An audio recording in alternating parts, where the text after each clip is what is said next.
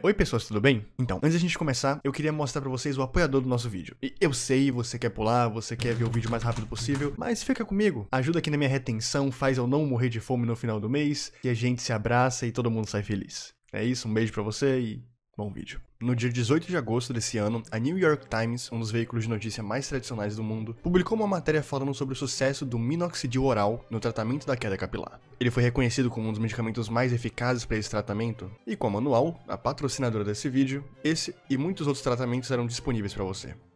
Um dos maiores motivos para a queda de cabelo, considerado até mesmo o principal, é a genética. Muitas pessoas acham que os tratamentos são extremamente caros e inviáveis, mas é aí que o manual chega com os dois pés na porta para te provar justamente o contrário. Respondendo um rápido questionário, você facilmente é guiado para o tratamento que melhor se adequa à sua situação, junto, obviamente, de uma equipe médica responsável, seja o seu caso inicial ou mais avançado. Não importa, a manual vai te ajudar da mesma forma.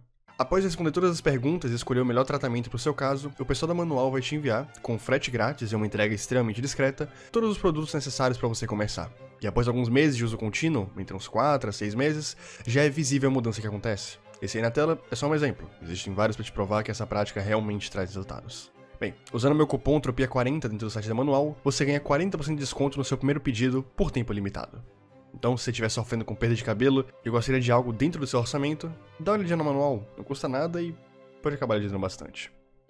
Link na descrição e bora pro vídeo. O maior evento de premiação de jogos do ano começa. Várias categorias são agraciadas pelo evento: melhor narrativa, melhor jogo de esporte, melhor jogo de ação, jogo de aventura, etc. Cada gênero naquele evento guarda dentro de si algo único que categoriza aquele determinado jogo. Deathloop, com sua velocidade e precisão, o torna um ótimo jogo de ação. Psychonauts, com seus mundos e dimensões extremamente criativas, o torna um ótimo jogo de aventura. Osso, como um ótimo jogo de ritmo, Resident Evil 7 como um ótimo jogo de terror, e por aí vai. Sabe, é muito fácil classificar esses jogos, já que eles seguem um molde sólido e bastante explorado desde que os jogos se conhecem por jogos. Se algo foi feito para te assustar, é terror. Se algo foi feito para testar os seus reflexos, é ritmo. E se algo foi feito para te fazer passar muita raiva, é League of Legends.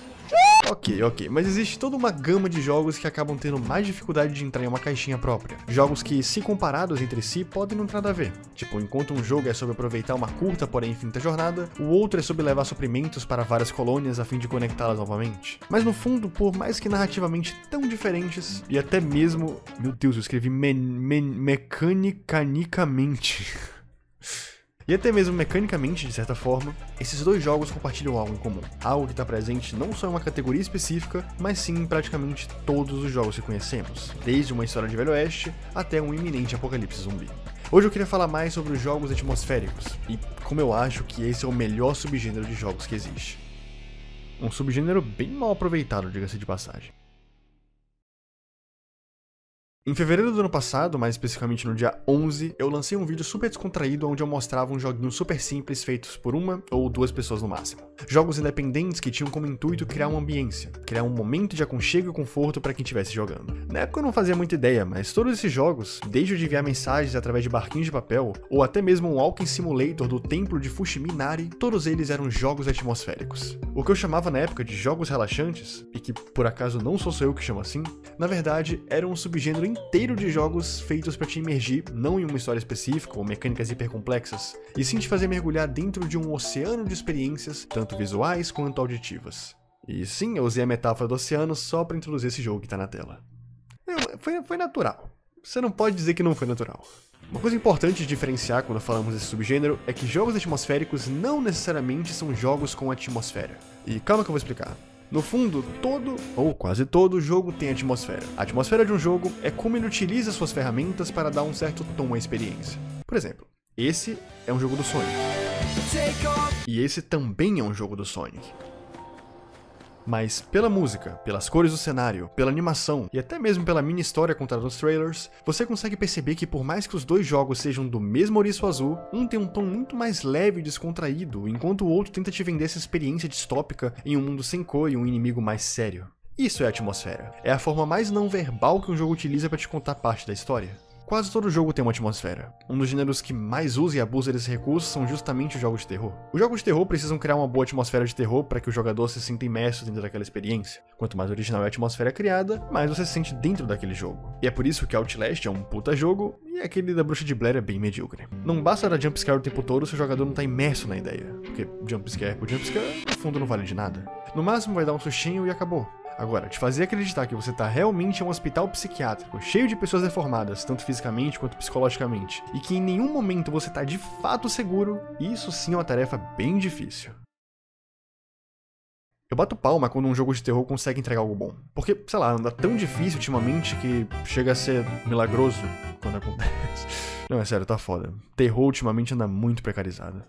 Aliás, só fazendo um parêntese aqui, outro jogo de terror que eu pensei agora que usa a atmosfera praticamente como a sua mecânica principal é o Iron Lung. Iron Lung é um jogo de terror indie em que você é jogado dentro de um submarino que está imerso em um oceano de sangue em um planeta distante. Conforme a pressão dentro do submarino vai aumentando, você é obrigado a fechar a única fonte visual que você tinha disponível, e passa a se guiar estritamente por coordenadas e fotos esporádicas que você tira na parte de trás do submarino. O que faz esse jogo aparentemente muito simples, dá tanto medo, é justamente a atmosfera. Um jogo que passa 80% do seu tempo em total silêncio, mas que usa dos sons, e, e da falta deles, obviamente, para criar uma imersão tão grande que uma simples mudança sonora no seu painel já é o suficiente para te fazer mijar de medo. Enfim, tudo isso para dizer que todo jogo tem atmosfera, mas nem todo jogo é atmosférico. Porque, por mais que, sei lá, Milk Inside a Bag of Milk crie toda uma atmosfera com suas músicas e sound effects, não dá para dizer que eu tô contemplando nenhum cenário ou que isso aí é uma experiência visual incrível. É difícil definir com exatidão o que é um jogo atmosférico, tanto que na wiki de todos os gêneros de jogos, esse em específico não existe. É sério, tem até um gênero de jogos cristão, mas nada do tema desse vídeo. Tentar pensar qual é a semelhança narrativa de Journey, Death Stranding e Iron Lung pode ser uma tarefa difícil. No fundo, nenhuma dessas histórias se parece, assim como o Tom também não. Enquanto Journey a todo tempo tenta passar essa atmosfera mística e parcimoniosa, Death Stranding enfatiza muito mais esse mundo pós-apocalíptico. Agora, nem todo jogo pós-apocalíptico acaba tendo uma atmosfera triste também. Tá bom que Death Stranding parece mais triste e The Last of Us passa essa vibe mais mórbida, mas não são todos. Stray, por exemplo, o jogo do gatinho que lançou esse ano, mostra que consegue ao mesmo tempo passar uma vibe séria e descontraída em sua gameplay, tanto pelos robozinhos quanto porque você é um gatinho super fofo. Então a atmosfera é diferente, a história é diferente, as músicas são diferentes e nem todo jogo atmosférico é um Walking Simulator. Então, o que, que raios definiria com exatidão o que é um jogo atmosférico? Bem, um jogo é definido por um gênero quando o ponto em destaque desse jogo é aquele determinado gênero. Eu sei, pareceu muito óbvio o que eu falei, mas faz sentido. Um jogo de luta tem como principal ponto a luta. Terror tem o principal ponto, terror. Aventura, aventura, ação, ação, e você entendeu.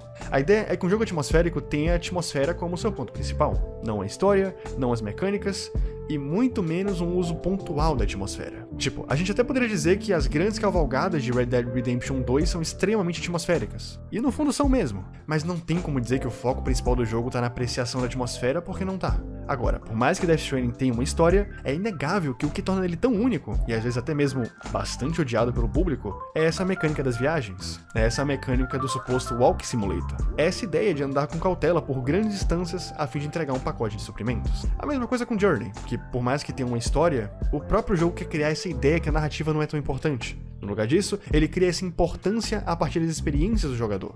Um dos motivos pelo qual o jogo não tem uma linha de texto sequer. Stray ele acaba entrando na mesma ideia. Você até pode me dizer que a história do gatinho em querer se reencontrar com sua família, ou que a história daquele mundo pós-apocalíptico é muito linda, mas convenhamos que no final do dia o que mais sobressai não é a história, e sim os cenários, e sim a construção da atmosfera daquela cidade cyberpunk que faz você realmente se sentir um felino dentro de um mundo distópico como o de Stray. Então, no fundo, por mais que não haja uma definição específica, esse subgênero anda ganhando muita força nos últimos tempos, e eu fico feliz porque ele realmente merece mais reconhecimento. Utopia de antigamente, lá de 2021, que só via aqueles jogos independentes como jogos relaxantes e que sentia alguma coisa diferente jogando eles, mas não sabia exatamente do que se tratava, se sentiria muito bem sabendo que esse estilo não só realmente existe, como tem um nome e milhares de jogos parecidos. Eu gosto de ver Stray em popularidade, eu gosto de ver até mesmo Iron Lung tendo ganhado tanto prestígio pela comunidade. Sabe, é bom ver que no mundo em que jogos hipercomplexos, com tantas horas de gameplay e sidequests quase que infinitas, ainda haja espaço para jogos curtos, jogos que não têm uma pretensão megalomania megalomaníaca de te fazer refletir por dias, ou criar batalhas em momentos especificamente bons. No lugar disso, eles criam uma experiência curta, porém a todo momento satisfatória. Algo que não cansa por ser longo demais e não te confunde por ser complexo demais. Algo simples. Algo, categoricamente, atmosférico.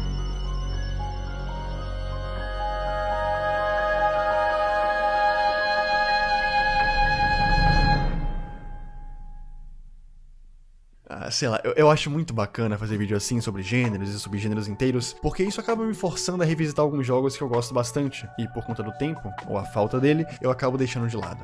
Enfim, junto desse vídeo vai sair um podcast falando um pouco mais sobre as minhas experiências pessoais com os jogos atmosféricos e por que, no meu caso pessoal, eles são tão importantes para mim. Algo que acho que não caberia muito bem nesse vídeo porque seria pessoal demais e muita gente ia acabar achando chato pra caramba. Então, para quem não conhecia, eu tenho um podcast no Spotify chamado Diário de Jovem Moderno, na qual eu falo de forma informal sobre coisas da minha vida ou eu crio algumas crônicas bacanas. O link do episódio que eu citei vai estar na descrição e, só se você quiser, eu adoraria ter você por lá. No mais, eu espero que você tenha gostado. O seu like e comentário me ajudam demais a reconhecer esse feedback. Então, deixa o like, comenta alguma coisa, nem que seja tipo pastel de frango é muito bom, que me ajuda demais, já me ajuda muito bem. Valeu, gente. Utopia, muito obrigado por mais um vídeo e a gente se vê na próxima. Aliás, se você quer ver mais algum vídeo meu, vê se tá na tela. Você vai gostar.